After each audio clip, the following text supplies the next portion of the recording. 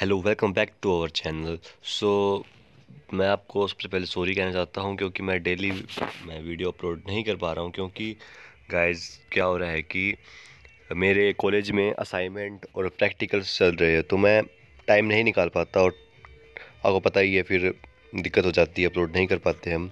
सो अभी नेक्स्ट चार या पाँच दिसंबर तक ऐसे चलता रहेगा कि वीडियो बीच बीच में आती रहेंगी।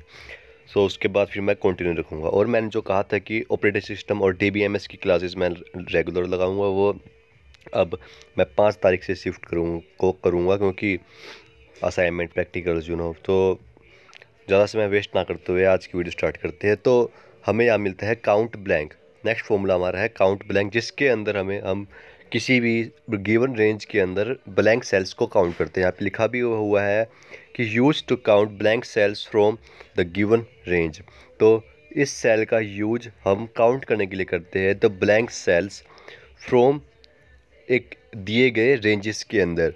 सो so, एग्जांपल की तरफ़ चलते हैं। यहाँ पे हमें दो वैल्यूज़ दी गई है। वैल्यूज़ क्या दी गई है? यहाँ पे ब्लैंक है। यहाँ पे इवन एक स्पेस भी नहीं है। जो आप यहाँ पर ये सेल देख रहे हो दो उसमें एक इवन एक ब्लैंक स्पेस भी नहीं एक स्पेस भी नहीं है। ये कंप्लीट नल है।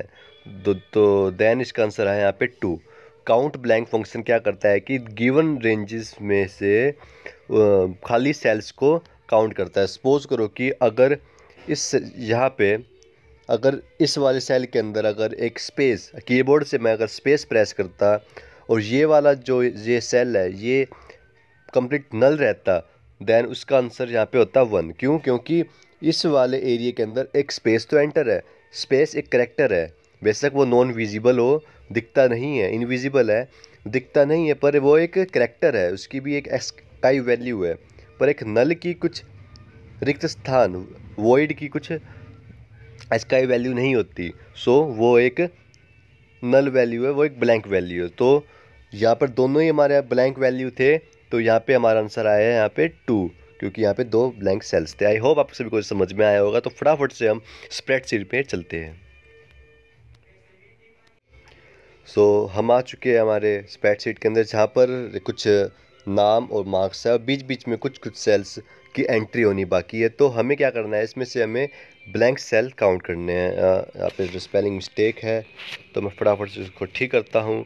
तो अब बताता हूँ आपको, इस दिए गए रेंजेस में से मुझे ब्लैंक सेल काउंट करना है। तो मैं क्या करूँगा यहाँ पे सिंपली तो इक्वल प्रेस करेंगे हम कीबोर्ड से और यहाँ पे लिखेंगे count blank C O U N T blank then वो रेंज देंगे, मैं डाउन से देना स्टार्ट करता हूँ।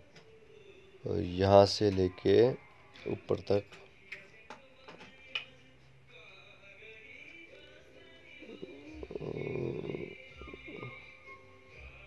और देन आपको करना है यहाँ पे राइट तो यहाँ पे आया फोर तो इस दिए गए रेंज के अंदर टोटल हमारे चार सेल ऐसे जो कम्प्लीटली नल है. आई होप आप सभी को ये फॉर्मला समझ में आया होगा. That is for today guys मिलते हैं आपको नेक्स्ट वीडियो में. तब तक के लिए बाय